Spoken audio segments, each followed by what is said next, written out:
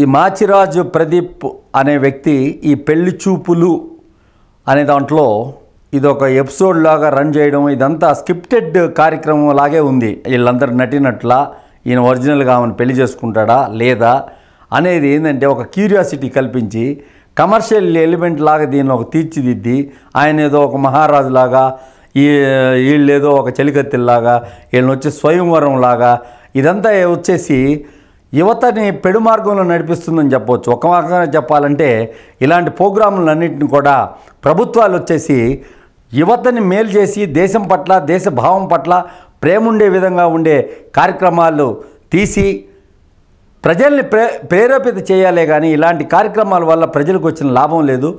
ఏదో చేస్తారు. ఆ ఇన్ఫ్లుయెన్స్ ఎక్కువ ఉంటుంది కాబట్టి ఇప్పుడు సినిమాల వల్ల ఎలా ఇన్ఫ్లుయెన్స్ అయ్యి జనాలు చెడిపోతున్నారో అదేవిధంగా ఈ టీవీ సీరియల్ వల్ల కూడా చెడిపోయేదానికి మార్గాలు ఎక్కువ ఉన్నాయి కాబట్టి ఇలాంటి కార్యక్రమాలు రాకుండా చూడవలసిన బాధ్యత కేంద్ర ప్రభుత్వం మీద ఉంది.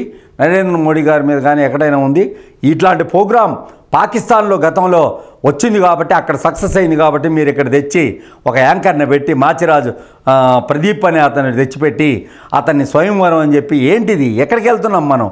ఏమిటి సమాజం? సమాజానికి మీరు ఏ విధంగా సందేశాన్ని ఇవ్వబోతున్నారు? అని సమాజంలో మంచి జరగాల యువత బాగుండాలా అని కోరుకునే వాళ్ళందరూ ఎవరైనా కూడా మీ యొక్క చర్యల్ని హర్షించరు. బిగ్ బాస్ టూ వల్ల మీరు చెడు మార్గంలో చేశారు. టూ రన్స్ అని ఆన ఆ రన్ అని ఈ రన్ ఈ రన్ అని పెట్టి ప్రజల్ని పంపిపెట్టి తప్పుదోవలు పట్టించి కేవలం మీ వ్యాపార దృక్పథం కోసం అమెరికా నుంచి వచ్చారు కాబట్టి కార్పొరేట్ విధానంలో మీరు నడిపించారు. గతంలో మా టీవీలో మంచి ప్రోగ్రాంలు వచ్చాయి.